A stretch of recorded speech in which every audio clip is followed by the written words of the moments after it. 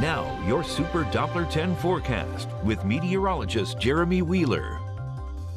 I want to talk about this uh, coastal low. It could become a tropical storm. Right now, it's just an area low pressure. It's a little ill-defined, but um, we're going to have some effects here. We're going to have some heavy rain bands coming up. Some scattered showers today. It won't be bad. Uh, should be mostly light and moving through, but some heavy rain is possible. Starting up around 9 o'clock, especially North Carolina, all the way through about noon on Tuesday and then the rain should start to uh, let up a little bit in the afternoon. Wind gust uh, today all the way through Tuesday. Some northeast winds gusting up to 30 miles an hour. A few gusts to 35 maybe near the shore.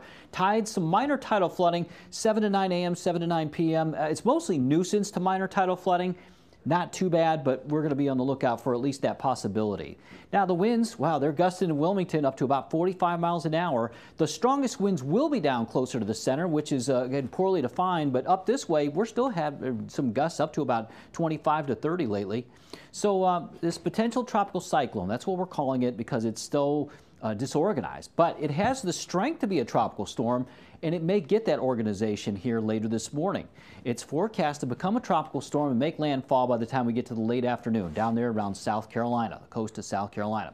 Then it moves northwest, moves up toward Charlotte, North Carolina, and uh, again, stays away from here. The center stays away, but we're going to get these rain bands coming up from the south. Here's Future Track. It shows that. So these rain bands come up in here, uh, especially once we get into the evening hours overnight and tomorrow morning.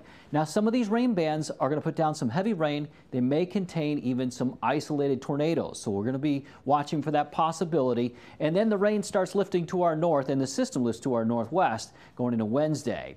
Now, we could see some ocean overwash. It is possible today, this morning, and tomorrow morning, but in the evenings, the tide will be up a little more, so it is likely. So along Highway 12, watch out for that possibility. There is Tropical Depression Gordon, middle of the Atlantic. It's not going anywhere. It's going to stay out over the ocean. Maybe it strengthens again, but stays out over the ocean. So there's that low to the south. We have high pressure to the north. And when you get that squeeze play between the two, you get these northeast winds coming through. So that's what we're going to have today. Northeast winds gusting up to about 30 miles an hour. Now we got some scattered showers in northeast North Carolina, mostly just south of the state line. That's where most of them are. Moving off to the west, South Mills over towards Gatesville, and a few around Edenton.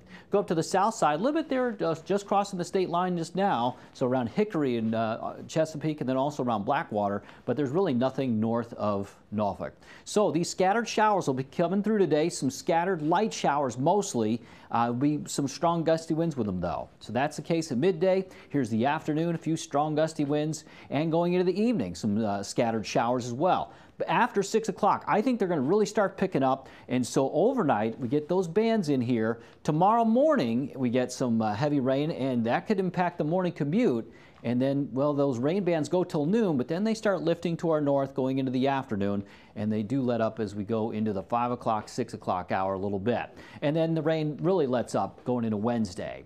Rain totals, we're looking at, I think, a half inch to two inches of rainfall. We need that rain, it'll be good. Uh, this model's a little on the heavy side. I think the average is going to be about a half inch to two inches. So today, scattered showers. Uh, not too bad. I mean, yeah, it'll be windy a little bit, but uh, it's not going to be too bad out there. Temperatures in the upper 70s. And then tomorrow morning is when the worst of the weather will be, uh, late tonight, early tomorrow morning, and then things improve after that. There's more scattered showers Wednesday, Thursday, but hardly anything going into Friday and Saturday.